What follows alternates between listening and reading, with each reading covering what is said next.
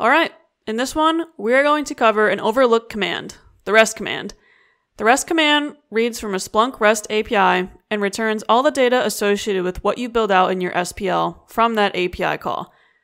I say it's an overlook command because there are so many internal searches you can run to pull valuable information about your environment from it. So let's take a look at a few examples. First, we're just going to throw it in.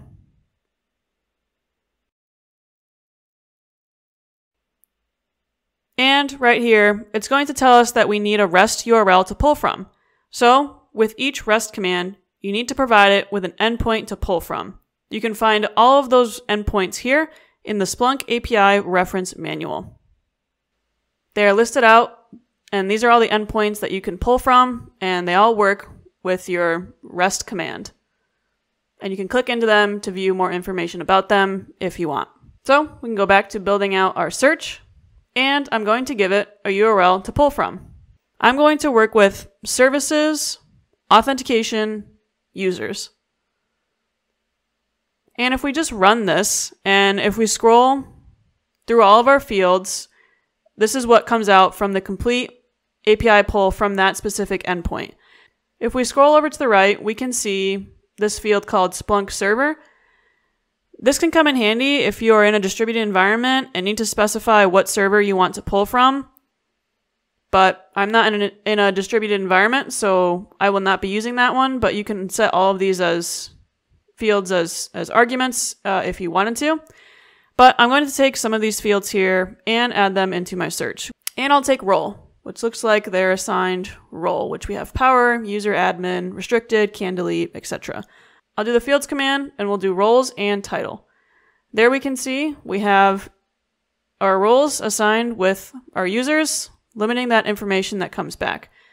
And earlier, like I said, if you were in a distributed environment, you can just give your Splunk server that you want to pull this from, uh, and it'll just pull from that host. Now let's pull from another endpoint. So I'm going to leave this one open and just duplicate the tab.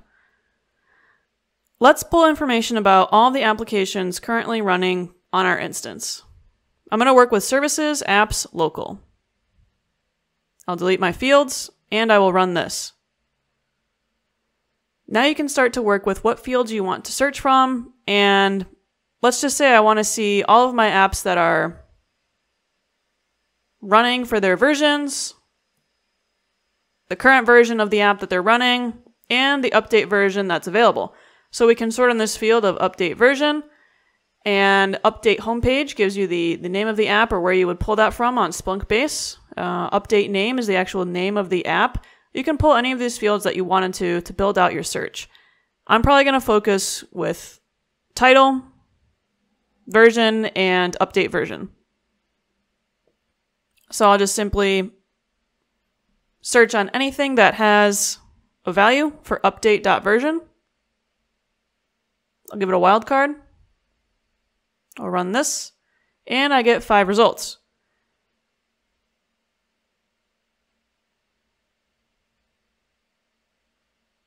So the last thing I'll do is just clean it up a bit with those three fields of interest, and I'll table it, and I'll do fields for title, version, and update version.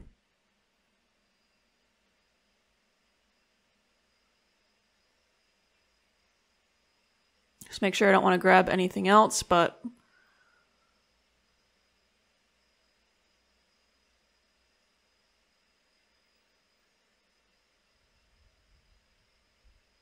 and we'll run this. And this is just a nice simple example that you could throw into a panel, into a dashboard, and just glance at. And it tells you what, what applications you may need to update. So you could save it off and just glance at it and know what apps are update or need to be update or ones that have an update available to them. All right, let's move on to another example. Let's say we want to see all of the users and their assigned roles based on the index of data that they are allowed to, pull from, that they're allowed to search from. This is helpful for those of you that need to have some access to data in specific indexes restricted to other users when you're ensuring that not all people searching in your environment have access to data that you don't want them to be able to see.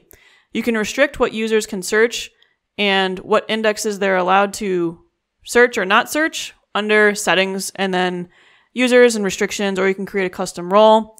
Um, but let's try and build something out. So for this one, we're going to pull from services, authorization, roles. Scroll through all of our fields and pick out which ones we want.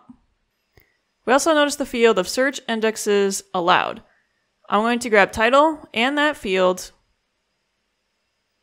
table them out, and then rename title as assigned role.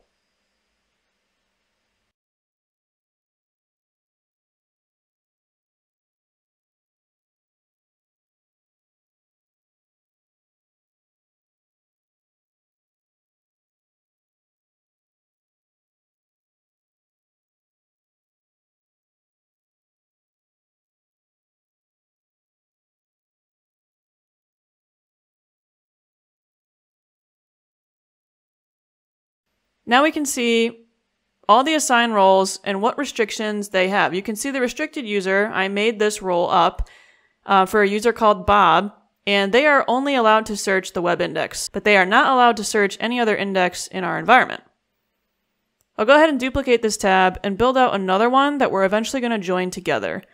So we just pulled from roles. Now I'm going to work with users. These are the two fields that I was interested with in users role and title.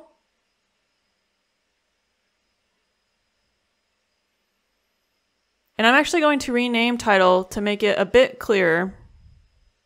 And I'll call it user. Because when I combine these, I want to know exactly which one means what. So I'll keep this one as assigned role. I have this one as user. Now I can combine them both together and get the whole picture. So I will copy this one and I will go over to our first search. And I'm going to implement the join command. The join command is used to combine the results of a sub-search with the results of the main search. So we can use one or more fields um, that have to be in common and combine these in a search result to get the combined results that we are looking for. For our options, we can set the type to be inner, outer, or left. The difference between inner and left join is how the events are treated in the main search that do not match any of the events in the sub-search. In both inner and left joins, events that match will be joined together. So this is why I'm going to do join type equals left. And a max argument specifies the maximum number of sub-search results that each main search result can join with.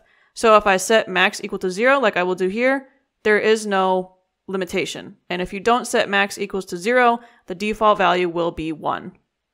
Then I will open up a pair of square brackets and paste in my other command that I built out on the other tab from the roles URL.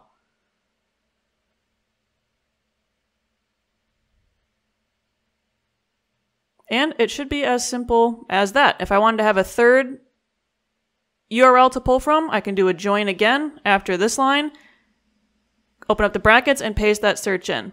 Now you can see each user, their assigned role, if they were to be assigned that role, and the indexes that they would be allowed to search. So Bob, if he is assigned the restricted user role, he would only be able to search the web index. Same if I were to be assigned the restricted user role, then I would only be able to search the index of web.